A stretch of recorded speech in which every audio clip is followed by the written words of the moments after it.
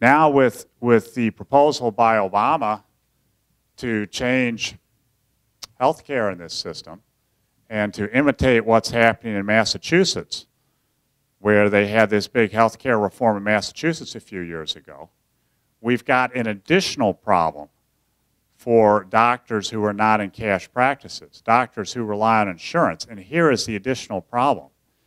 What this Obama proposal suggests and what Massachusetts is already doing is to force the entire population to buy insurance and to penalize people on their tax return if they don't purchase insurance.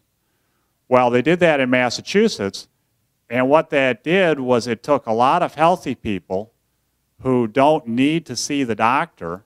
It required them to buy insurance for themselves, a product they didn't want. But now that they've paid for the insurance, they want to get their money's worth. So now all these people in Massachusetts who were healthy and didn't need to see a doctor are running to the doctor because they've had to pay for it. And they want their money's worth.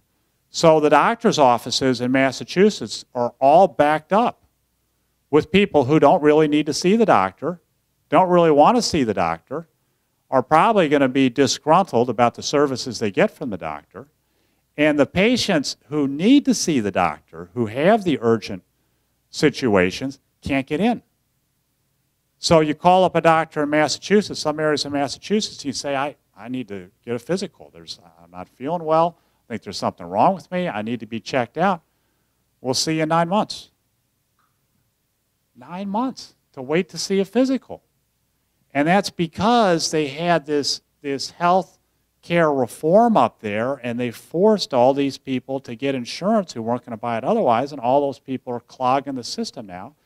And they're not getting any value because they didn't need to see a doctor in the first place. They're healthy people.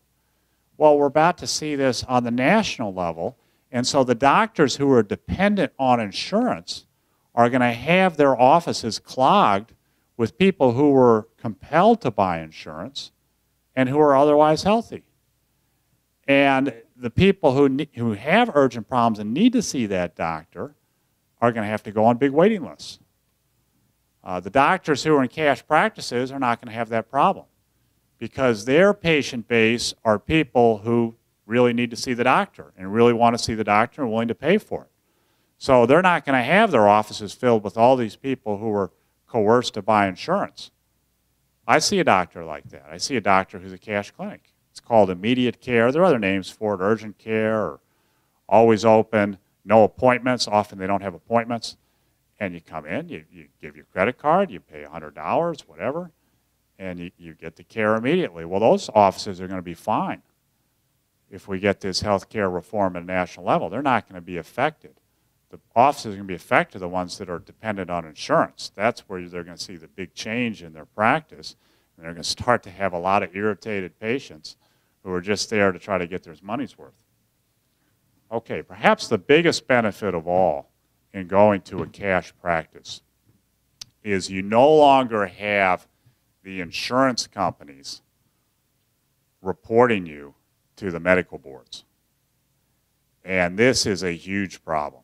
And it's a big problem here in Texas, where insurance companies single out doctors they don't like, and they have those doctors reported to the medical board, and the doctor never knows who did it.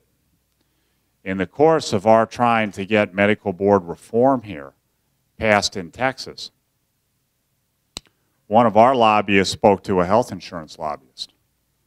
And the health insurance lobbyist candidly said to our lobbyists that, quote, we use confidential complaints to go after doctors, close quote, in Texas.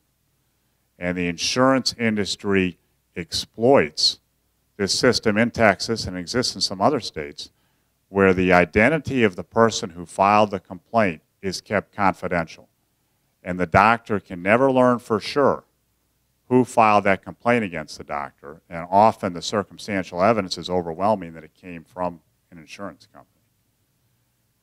And of course, people who are in cash practices don't have to worry about this, but most doctors, most of us in this room, I'm sure, do use insurance to some extent. And this is a constant threat. It's a constant source of stress and irritation that the insurance company, if, if, you're, if you're doing something the insurance company doesn't like, if you're an outlier, if you fight with the insurance company over reimbursement, they may file a complaint with the medical board. And next thing you know, you've got this huge problem of having to go before the Texas Medical Board.